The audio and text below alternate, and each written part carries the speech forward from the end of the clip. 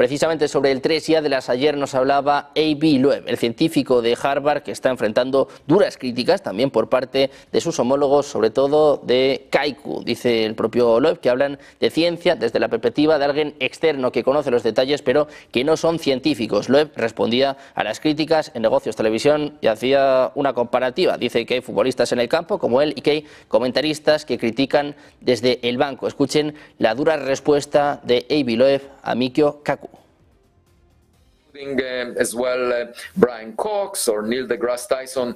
These are um, people who are commentators. They talk about uh, science uh, from uh, the point of view of someone from the outside looking at it that knows the details, but are, they are not practitioners of science. It's the difference between, let's say, soccer players on the field and commentators on the bench that are talking about the game.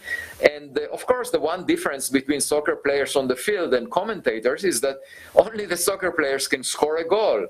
The commentators can say whatever they want, but they're not on the field. And so Michio Kaku is just talking about uh, this object. He didn't write a scientific paper about it. And the same is true for Brian Cox or Neil deGrasse Tyson. They're just commentators. Uh, I'm not sure when they wrote the last scientific paper, but definitely they haven't published anything about 3i Atlas.